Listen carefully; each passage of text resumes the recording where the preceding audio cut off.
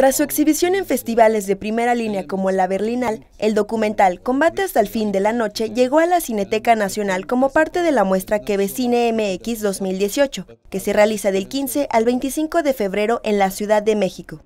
Con el objetivo de dar voz a nativos, refugiados sirios, sudaneses o afganos de Grecia, el cineasta Sylvain Lesperrin recorrió por dos años ese territorio, atestiguando el deseo de sus protagonistas por la libertad y la fuerza.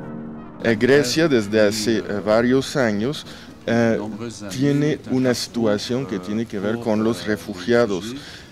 del, 2000, del 2000 al 2015, los gobiernos han intentado instrumentalizar la cuestión de los refugiados, diciendo que los iban a echar del país, que no tenían su lugar ahí.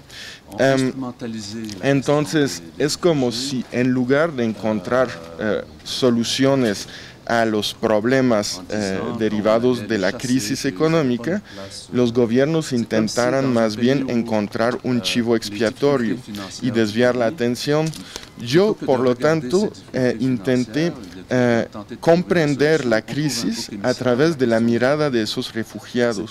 Por eso la película oscila constantemente entre los griegos y los refugiados y encontrar en esta crisis puntos eh, en común entre los refugiados y los, eh, y los griegos. Por ejemplo, ambos luchan por la justicia, por tener un trabajo, por encontrar alimentos. Es como si en esta crisis hubiera un posible punto de encuentro entre los griegos y los refugiados. El cineasta explicó que antes de mostrar al mundo el resultado, ofreció una función privada con los protagonistas del documental, lo que le permitió confirmar que no les incomodaba y que se sentían a gusto con este. Por espacio de 4 horas con 40 minutos, los protagonistas, hombres y mujeres nativos y refugiados, sumergen al espectador en su intensa lucha por construir un futuro distinto al caos de su presente.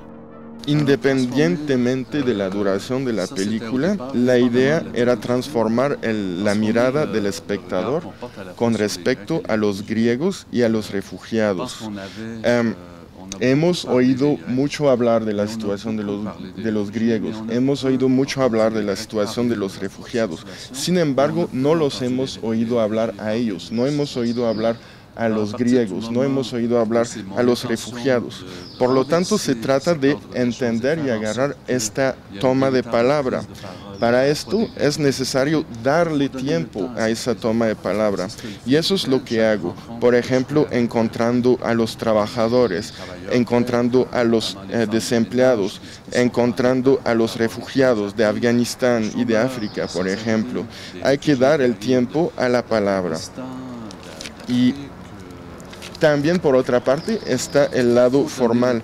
Quise también eh, hacer, eh, transmitir una palabra polifónica, un poco como una pintura cubista, eh, para, proyectar esta multiplicidad de puntos de vista.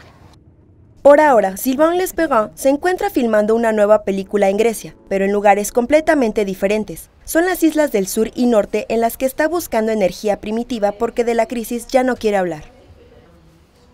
Con imágenes de José Luis Leone e información de Maricruz González, Notimex.